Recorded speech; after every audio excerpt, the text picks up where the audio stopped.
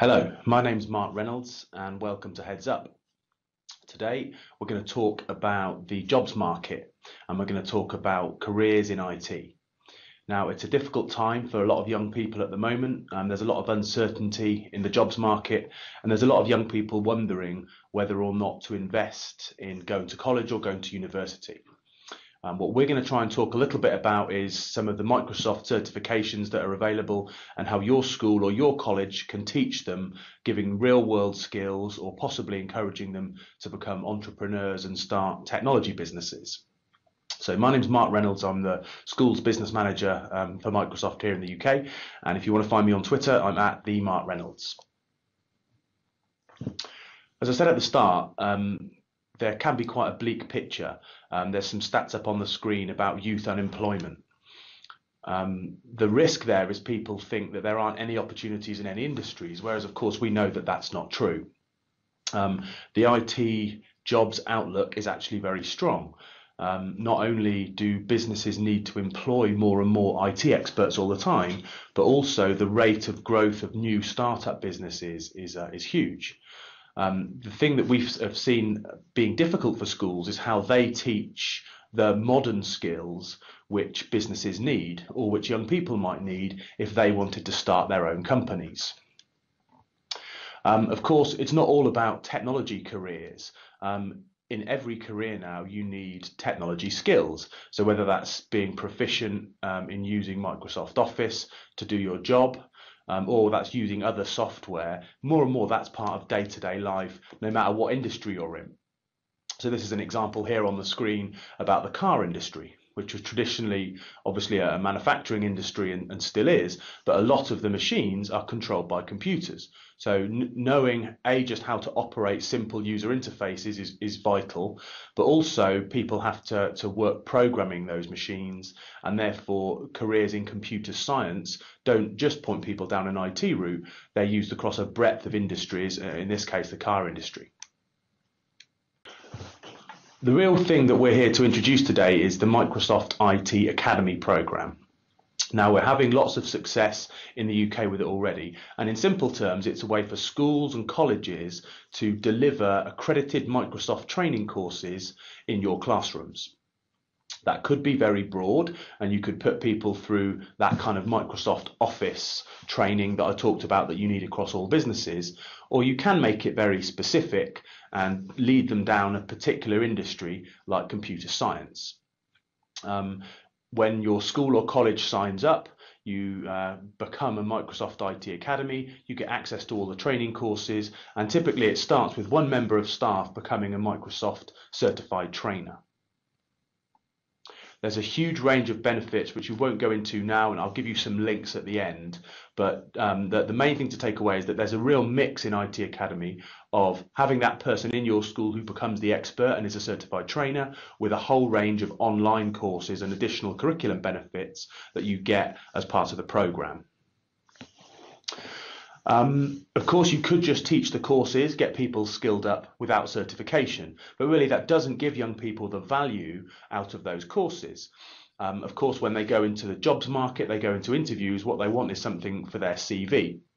So on screen now, we've just got a couple of examples of how you can move up through different certification paths under Microsoft IT Academy. Okay, that starts with everybody getting that basic level of digital literacy, and then you can move up the one path, which is those technical certifications we've talked about for people that might want to be web developers or game developers or go creating the next CGI movie when they leave school, or an office certification, which gives people the ability to just get upskilled in the programs they probably use already, but get a lot more proficient with things like Word, Excel, or PowerPoint. Um, here's a couple of examples of people who, who are already doing it. Um, the Barnsley Academy um, did some great work with mobile phones. So, of course, at the moment, everybody wants an app built, but there's a huge shortage in the market of young people leaving school or leaving college with the right modern skills to build apps. So, that's something that they did using the Microsoft IT Academy courses. Um, in Cambridgeshire have been a Microsoft um, IT Academy for a long time. They're a fantastic school, and they give the Microsoft Office exams to years 10 and 11. Um, they also do some great links with the local community. So if your school or college does become an IT academy, it's not just about the young people. You can also have adults from the local community in, whether that's parents or, or other groups, um, and train them too. And lastly, just to mention the EACT group of academies, who recently, as a whole, have made all the EACT sites in the UK, all the secondary schools, into Microsoft IT academies. And that's something that's rolling out as we speak. Um, this is a quick snapshot to say that um, there's a global market. This is a competitive market for young people. Um, we're doing well in the UK, but you can see there's a huge investment going in from governments across other countries. That means some things are happening across the whole country, you know, countrywide from the central government. Now, with the current situation in the UK, that's unlikely to happen. So this is really down to individual schools and colleges to make that decision that this is something that's right for them but you have to help your students compete in that global marketplace all the same. Um, again, going back to the point about certification, um, this is something that once they've got it on their CV, they'll have for life. It's just a proof point, really, that what they've done in school maps to the needs of what businesses are asking for. And again, Microsoft works with lots of businesses as well as with the education system. And we hear over and over again how important certification is when they're hiring um, either graduates or, uh, or first-time employees.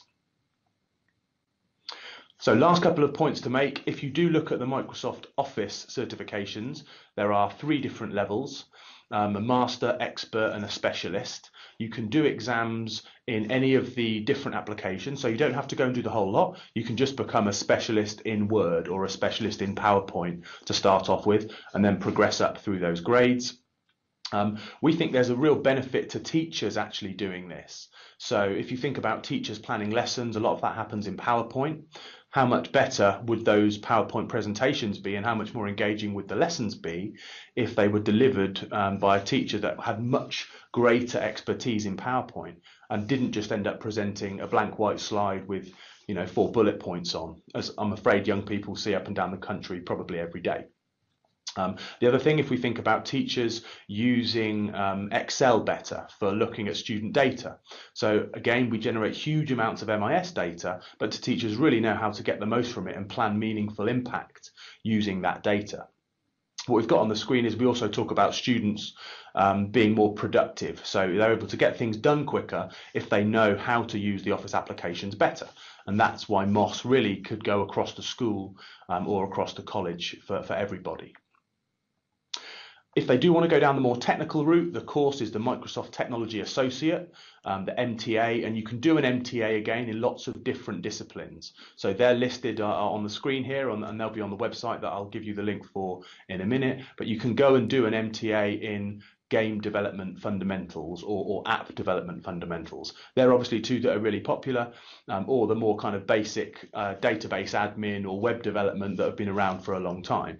But of course, if you want to get students interested, doing gaming or app building is a very good and current way to, to get them hooked and get them interested in your courses. Um, last couple of things. Um, this really does uh, matter in the jobs market. So we've got a little search here that's showing if you go to a, this is the Reed site, but you go to a recruitment site and you search on Microsoft jobs. There's a huge number, seven and a half thousand jobs looking for Microsoft skills.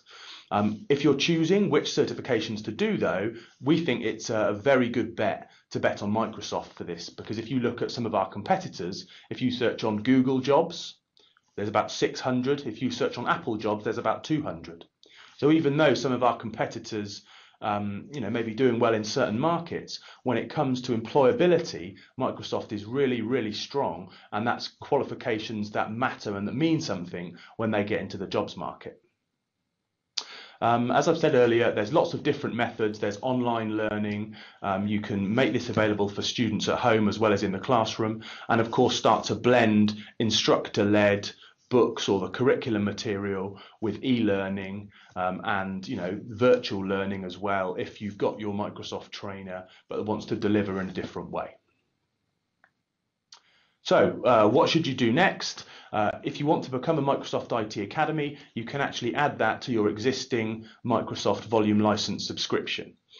Um, so if you've got a subscription uh, deal with Microsoft for, through a reseller and that you buy Office and Windows or your server products, you can add that and become a Microsoft IT Academy for around £750 a year. So it's really not a, significant cost. Um, the link to go find out more information is microsoft.com forward slash learning. And we really hope some of you go off, find out more about the Microsoft IT Academy program and use that to make a difference for the young people in your school or in your college. Uh, thanks for tuning in to Heads Up and we'll see you again soon.